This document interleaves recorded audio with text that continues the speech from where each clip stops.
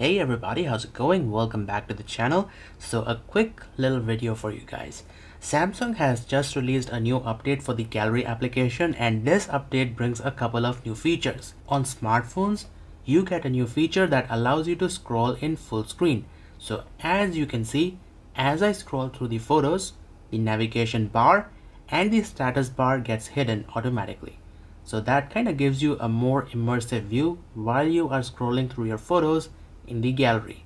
And coming to the tablet, they have completely redesigned the gallery's user interface. So now onto the left, we have a drawer which lets you navigate through your different folders inside the gallery. And it also gives you access to videos, favorite, recent stories, and there's the settings icon right over there. So this is the new drawer UI of the gallery. You'll notice it's very different compared to what we have on the phones.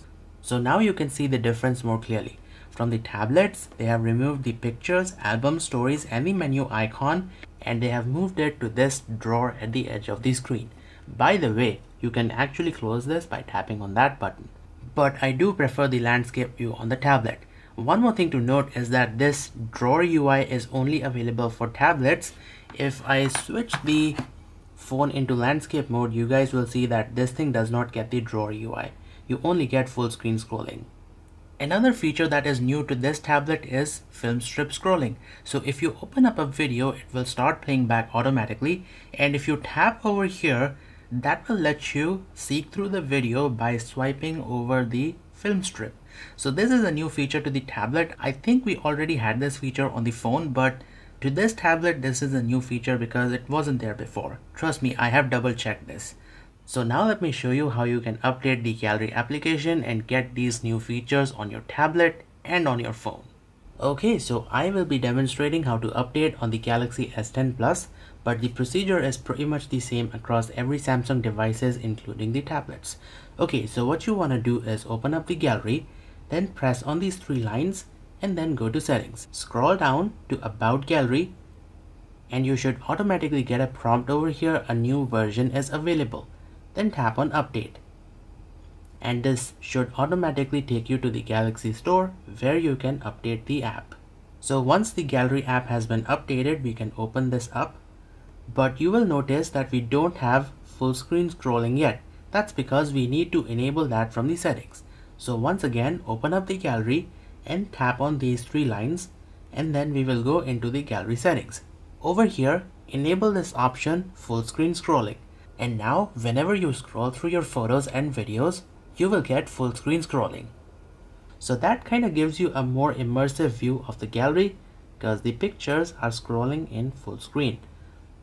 Man, that looks amazing, doesn't it? Now, in order to bring back the status bar and the navigation icons, just scroll down and you will see that the navigation bar will come back up. You don't see it on this phone because I'm using navigation gestures, but that's how you bring back the status bar and the navigation icons. Now one feature that the tablet does not get compared to phones is full screen scrolling. So let me close this and as I scroll, you guys can see that the status bar is still there. Now there is an option in a secret menu to enable this feature, but let me show you, it doesn't actually work. So what we will do is press on these three lines and we will go to settings. Scroll all the way down and then tap on about gallery. Now on this screen, we will repeatedly tap version until Gallery Labs get enabled. So now a secret menu Gallery Labs has been unlocked. We will go back, scroll down and open up Gallery Labs. Over here you will see an option full screen scrolling. Use full screen while scrolling through pictures. And we are going to enable this. Now we will restart the gallery, close the application and now let's open up the gallery and scroll. But as you can see that feature is not working because the gallery app isn't really going full screen. I can hide this and still it will not go into full screen mode. I've also tested this in portrait mode. I restarted the tablet. It does not work. So let's go back into the settings, scroll down gallery labs. This feature gets auto disabled. So that's the thing. Full screen scrolling isn't really working on the tablet. Maybe it will in the future because that option is already there. And Gallery Labs is also where you can find video seek on FilmStrip in viewer. So that kind of enables that video seek option in the FilmStrip view, this one. So if you don't have this option, just enable it from the Gallery Labs and it should start working.